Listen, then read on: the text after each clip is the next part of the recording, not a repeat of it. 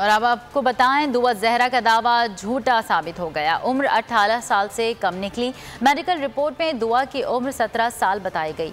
दुआ जहरा के वालिद ने रिपोर्ट को चैलेंज कर दिया। सिंध हाई कोर्ट ने 6 जून को दुआ की उम्र का तयन करने का हुक्म दिया था। दुआ जहरा नाबालिग है। उम्र 16 से 17 साल के दरमियान है। मेडिकल रिपोर्ट सामने आ गई।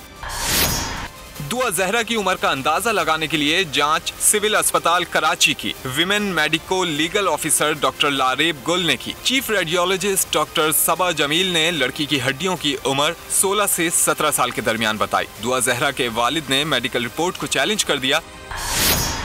सेक्रेटरी सेहत को खत्म वालदेन की मौजूदगी में दोबारा मेडिकल का मुतालबा किया। उम्र की तस्दीक के लिए मेडिकल बोर्ड तश्कील देकर शफाफ तरीके से उम्र के तयन की अपील कर दी। वालिद मेहदी काजमी ने इल्ज़ाम लगाया कि केस के तफ्तीशी अफसर डीएनए कराने से कतरा रहे हैं, दुआ जहरा से मिलने की इजाज़त भी नहीं दी गई। दुआ जहरा के वालिद ने बेटी की उम्र 13 साल 11 माह बताई थी। उम्र के तयन के लिए सिंध हाई कोर्ट ने मेडिकल टेस्ट कराने और दुआ जहरा को शेल्टर होम भेजने का हुक्म दिया था।